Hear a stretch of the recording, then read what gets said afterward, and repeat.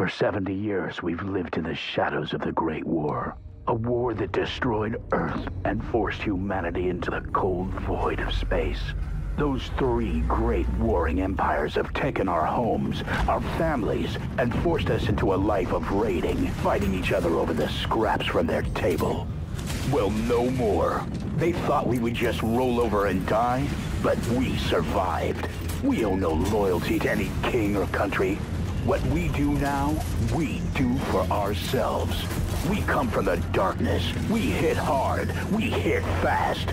We are Marauders.